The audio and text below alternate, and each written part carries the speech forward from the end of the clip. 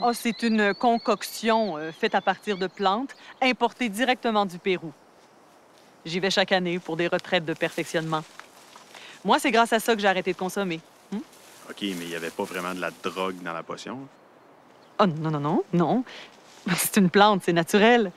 Euh, c'est comme un, comme un médicament. hmm? Un médicament très puissant pour l'âme. C'est pas illégal.